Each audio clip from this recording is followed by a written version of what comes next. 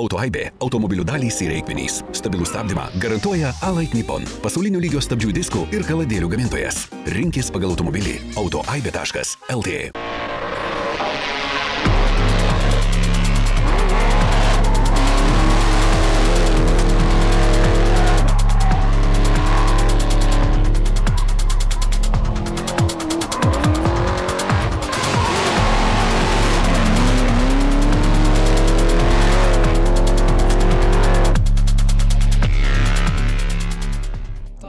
prasme, Jėzų Marija, kiek čia dūmų. Puh, mes kačerginiai, Aleksas testuoja automobilį, kol aš renku savo. Žodžiu, Aleksas Šaunuolis, 235 reduktorius, jeigu neklystu, antras, trečias bėgis, žodžiu, prabalemų didelių nėra. Ką reikia padaryti? Kai kur apsipilta tlyvą pagalvojau, žiūrėjau, kad nuskoja bakas tuščias. A, Čia trečių buvo. Pis, kai senį gripina. Gal 265, tai čia dar per mažai arklių. Kaifas, sukus tas kaifas. Tai po trečią įdurį ir atrodo, kad netilpsi trasą.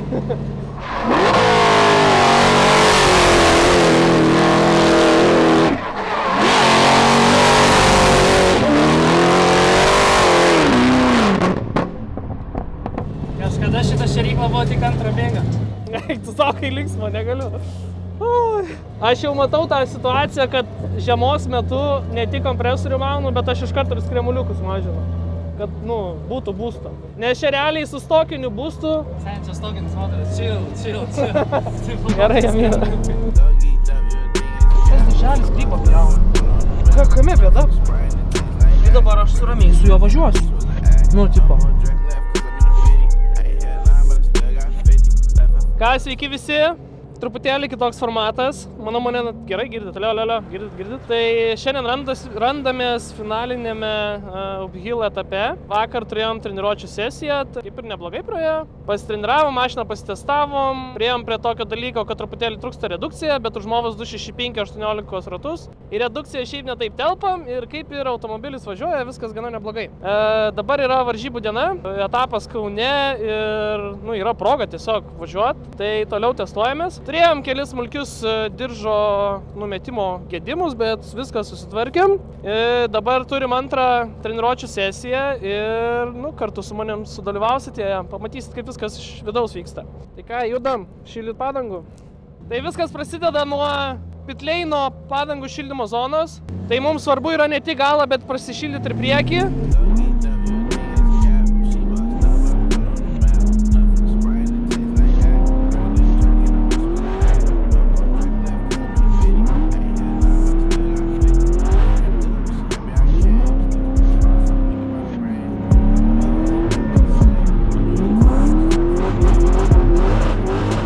Ką, pašildėm priekį, lekiam į startą.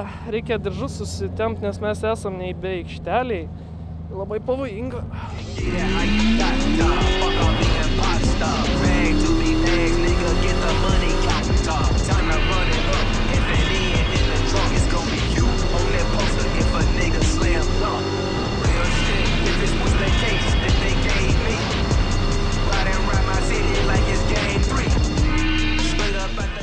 Žodžiu, supjovėm pasistatymą, pirmam klipė reikėjo pabūti ilgiau, kitam laido gale yra Eglė Simas ir šiandien man pitose padeda iš Kaip važiuojam pirkti finansinę klaidą? Kadangi mėgstam skausmą, paliekam telefoną namie, nesinaudojam kodų kregždesys ir nesigilinam į automobilio praeitį. Keliam kapotą, matom tik turimus pliusus, nekreipiam dėmesį kebabo likučius, nes, nu, tai praeitis. Rida, kas čia per skaičius? Visas atvažiavimo tikslas tai yra tiesiog pagyventi svajonėje. Jau įsivaizduoji, kaip čia įsėdi čiūžinį ir važiuoji keliauti. Nu ir natūralu, kad visą kitą ignoruoji, nes, nu, susipoliruos, čia susipoliruos, čia susipoliruos. Nu ir čia, man atrodo, viršutiniai brėžimai tai irgi susipoliruos. Tuo tarpu pas visus kitus telefonė ataskaita mirgų marga problemomis, visi matė tą muštą arką, apie kurią nieko nesakė. Rida padauginta iš dviejų, nu ir kiti niuansai, kurių tau, nu ir nebūtina žinot, nes, nu, makaronai skaniau už realybės kebabą. Įsimeni kodą krepžesys ir tavo nupirkta svajonių mašina tave nuveš saugiai ir be emocinio skausmo. Čeros vyrų, tai esam ant ryšio, Eglė man filmuoja kiekvieną mano važiavimą, todėl namie turėsiu daug medžiagos, ką pasistudijuoti ir dabar galiu studijuotis. Tai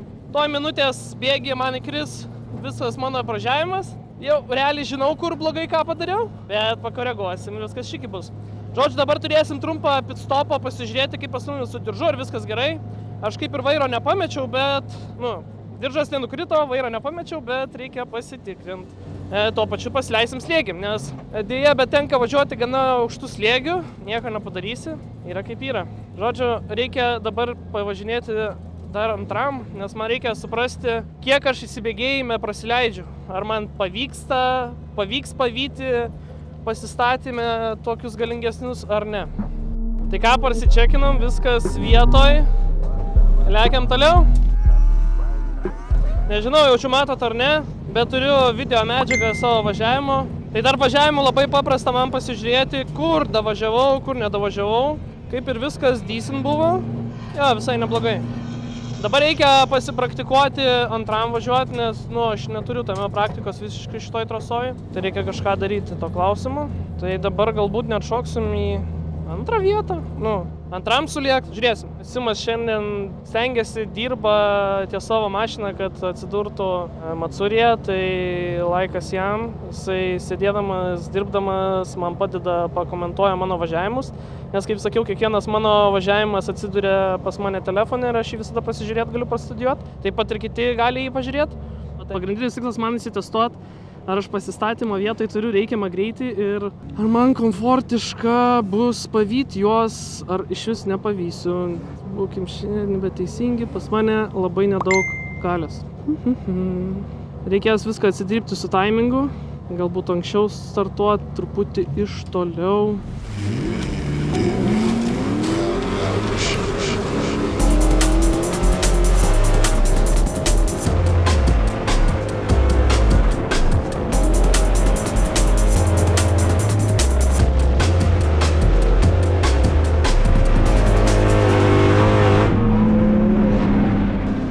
Norbė lėtas. Nu kaip lėtas, jisai tiesiog mano tempo mašina. Įsibėgėt visiškai problemų nebuvo. Čia buvo labai komfortiška. Tik tais, jo, čia buvo labai komfortiška. Wow, blemu, net kraujas užvirė. Neįsivaizduojat, koks kaifas. Eina savo. Dabar sustosim e, ratų flipinimui, nes pas mane nudyla labiau kairė padanga. Tai Eimantas greit sukeičia ir judėsim toliau. Temperatūros viskas vietai pas mane, man svarbu yra matyti du vienetus, tai į siurbimo temperatūrą ir, ir, ir variklio. Toliau, kaip ir, kaip sakant, man visiškai vienodai. Pažiūrėk dar po kapotu, ar viskas gerai. Lėtas aneis. Nu kaip aš, ar aš galiu sakyti lėtas, kai tai buvo mano pirmas porinis? Negaliu.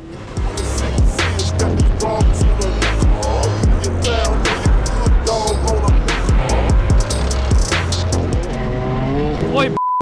vos nepriviriau čia košės. Oi, esu Marija. Oi. Ne, viskas, pavažinėjom su Norbė, nenoriu daugiau. Užtenka padangų dar? Yra padangų? O žydibės, nes poferio neturi. Buvo beveik miriau. Ček, ček, ček. Žodžiu, dabar tikrinsim įsibėgėjimą.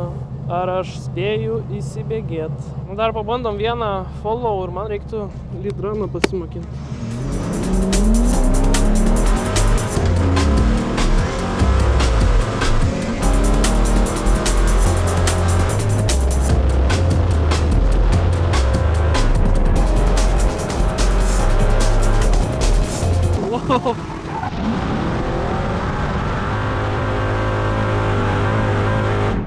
Pasiklydau dūmuose. e, jo, reikia išsiskaičiuoti dūmus, nes čia bus. Jo, dar nesu taip susidūręs su tiek dūmų, bet įsibėgėt man kaip ir įmanoma, kaip ir viskas ok. Turim du važiavimus paskutinius, aš manau, nes ir padangų kažkaip daug nepasiemėm, nes neplanavom 265 važiuoti. E, atsigraibom paskutinius dalykus. Kaip ir žinau, ką reikia pakeisti, bet ne visada tai yra paprastai padaryti. Tai varom, bandom.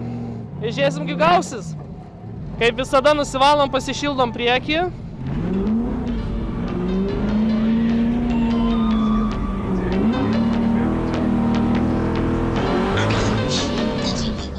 Nu ką, lekiam, lekiam.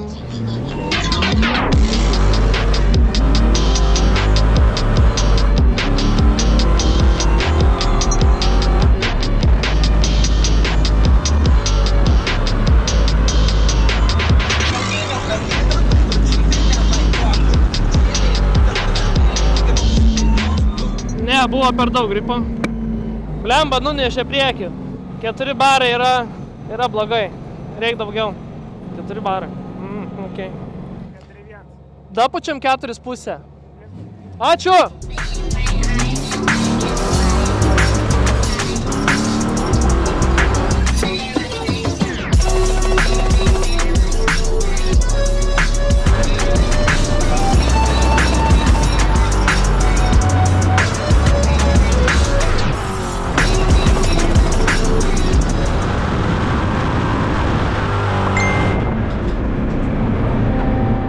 Išvažiuojam į kvalifikaciją. To įvažiavimas bus. Žiūrėsim kaip gausis. O, pamiršau, sorry. Gerai, kad pasakėjai. Galiu važiuoti?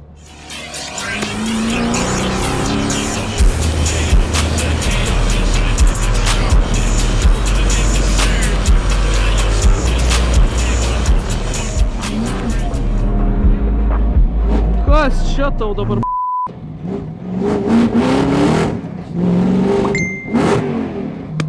What the fuck? Kažkas buvo. Žodžiu, gavom nulį, kažkas atsitiko.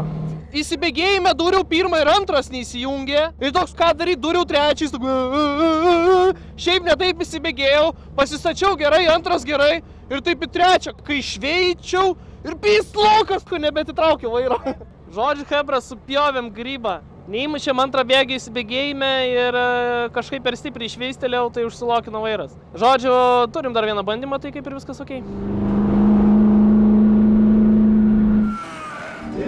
Likom dešimti, top 16 gaunam važiuoti su Andriu Vasiliausku, tai kaip ir garbė viskas liuks. Uh, tikėkime, nepadarysiu kokios nesąmonės ir nepakeišiu Andriaus, bet tiesiog bandysiu parodyti, ką galiu ir viskas. Jo, laukiam.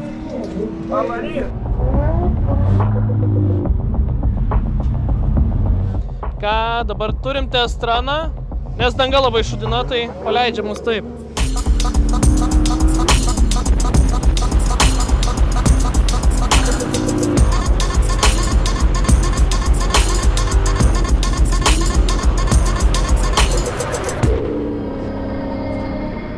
Kaip ir viskas neblogai.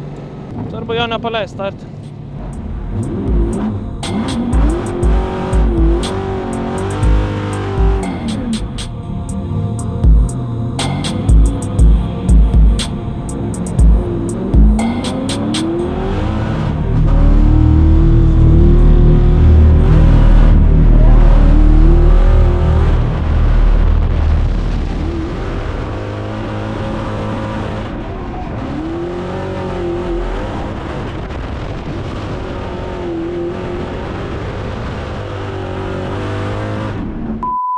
Nuleidau ratą. Kaip kabo. Man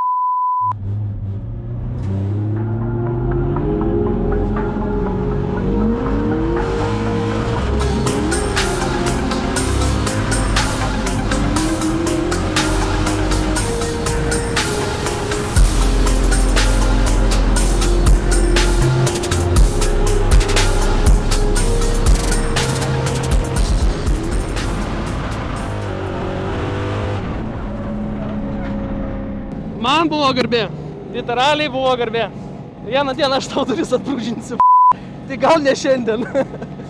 Woo!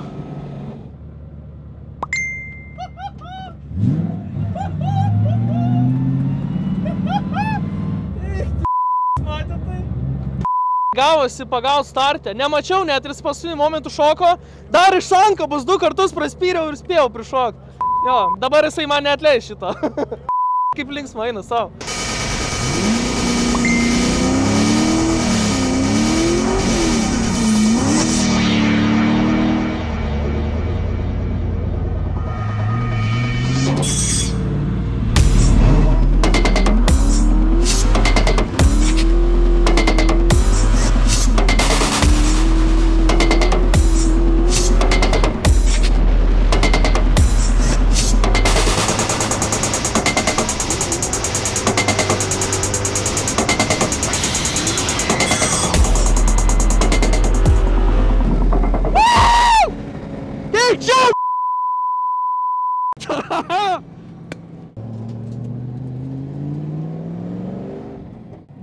arčiau pasistačiau.